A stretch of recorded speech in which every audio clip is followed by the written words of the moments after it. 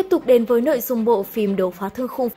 Ở tập trước, vẫn Lạc Tầm Viêm đã phá được một lớp phong ấn để chui lên bên trên, thiên phần luyện khí tháp súng lắc kịch liệt. Nhìn vào luồng hỏa diễm nóng bỏng đang bạo phát, đám người tiêu viêm vô cùng kinh ngạc. Ngay sau đó con hỏa mãng xuất hiện, nó nhanh chóng lao lên trên. Tận mắt nhìn thấy con quái vật này, Lâm Tu nhai và mọi người càng thêm hoảng hốt. Dực lão cũng không ngờ rằng vẫn lạc Tầm viêm đã tiến hóa tới mức độ này. Trạng thái của nó bây giờ đã không khác gì ma thú bình thường. Nó há miệng gào thét, đã đẩy lùi mọi người về sau, khói bụi mù mịt từ phía giống như một cơn bão. Chỉ với một tiếng gầm thét đã có uy lực mạnh hơn chiêu thức sử hồ toái kim ngân không biết bao nhiêu lần. Nó tiếp tục ngừng tụ lực lượng, rồi phun một quả cầu lửa vào nắp lò. Sức nóng nhanh chóng lan tỏa, các sợi xích lập tức bị nóng chảy. Nhiệt độ này e rằng sẽ biến một người bình thường thành mây khói trong chớp mắt. Tiêu viêm cảm thấy áp lực, thứ này quá kinh khủng, chẳng lẽ bọn họ phải trực tiếp bắt nó sao? Dực lão mỉa mày, nếu là ông ở thời kỳ mạnh nhất thì có thể thử, còn bây giờ thì nên cho hành động của nội viện thôi. Rất nhanh chóng, đại trùng lão cũng đuổi ra đến bên ngoài, nhìn thấy đám người tiêu viêm vẫn còn đứng ngây ra đó, lão ta lại phải lên tiếng yêu cầu bọn họ rời đi. Dựa vào đồng tĩnh trước mắt thì có vẻ thiên phần luyện khí thấp không thể trói buộc được vẫn lạc tâm viên rồi. Tiếp theo phải trông cậy vào các trưởng lão, hắn hy vọng mình vẫn còn cơ hội. Các trưởng lão nhanh chóng chạy ra đến bên ngoài.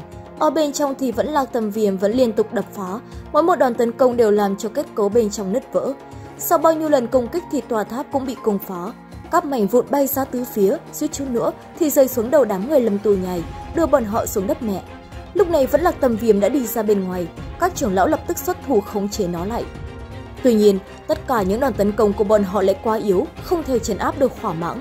Chẳng biết từ khi nào thì tiêu viêm đã tách ra khỏi đám người lâm tù nhảy, Hắn một mình đứng trên không trung quan sát, dược lão yêu cầu cứ tạm lánh trước đi, thực lực của hắn bây giờ chưa thể đấu chính diện với hỏa mãng. Lão cảm thấy có đại trưởng lão Tô Thiên và những trưởng lão nội viện khác thì tên kia muốn trốn thoát cũng không dễ đâu. Vẫn là tâm viêm há miệng phóng ra nhiều luồng sức mạnh cố gắng phản kích. Trước mắt chỉ có bốn vị trưởng lão ở đây, với số lượng này thì đương nhiên sẽ không làm gì được hỏa mãng đó. Cho nên, đại trưởng lão lập tức phát tín hiệu yêu cầu các trưởng lão nội viện và ngoài viện đến tiếp viện. Nhận được tin tức, bọn họ lập tức di chuyển. Đồng tính mà còn hỏa mãng kia gây ra quá lớn, giống như là đang có động đất xảy ra.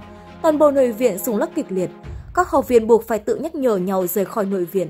Đám người hồ gia, ngô họ thì lo lắng cho tiêu viêm vì hôm nay là ngày mà hắn tu luyện ở thiền phần luyện khí tháp. Cho nên, bọn họ quyết định đến đó xem xét, có lẽ có thể giúp một tay.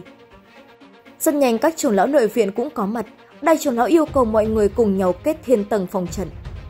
Dưới sự hợp lực của nhiều người, một tầng kết giới hình cái trào cũng xuất hiện. Kết giới nhanh chóng hạ xuống chấn áp vẫn lạc tâm viêm, nó vùng vẫy định phá tan cái màn chắn phía trước.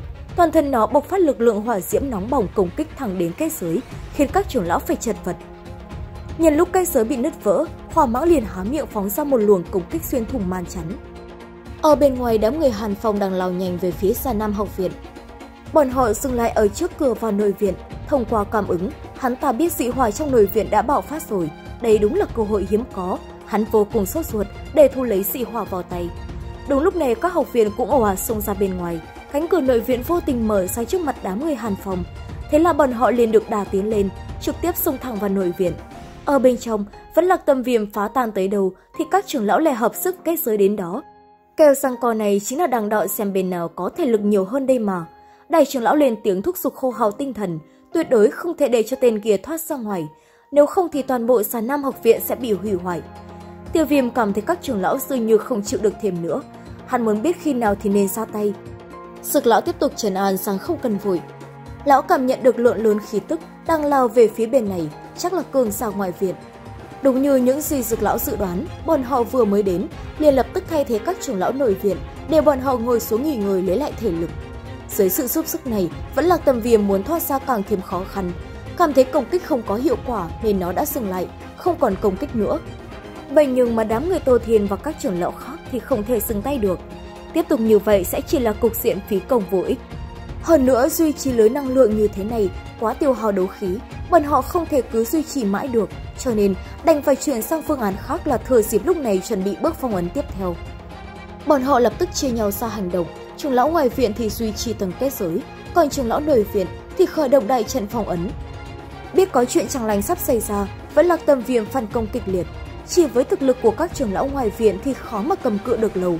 Cũng may là cây giới vừa bị phá thì đại trận phong ấn cũng hoàn thành. Đại trưởng lão lập tức huy động đại trận sáng xuống bên dưới, triệt để phong ấn vẫn lạc tâm viêm vào bên trong thiên phần luyện khí tháp. Sau đó dùng đấu khí gia trì tòa tháp lại. Mọi thứ đến đây tạm thời được giải quyết, tuy nhiên tránh được kiếp nạn trước mắt thì kiếp nạn tiếp theo lại sắp xảy tới. Tiêu viêm nóng lòng muốn động thủ, vậy nhưng dực lão vẫn khuyên ngăn, cho rằng con hỏa mãng đó không dễ phong ấn như vậy đâu. Hơn nữa lão cũng cảm nhận được còn có thế lực khác đang chạy tới đây. Rất nhanh chóng, đám người Hàn Phòng cũng đã tới. Điều này làm cho Tô Thiên vô cùng bất ngờ.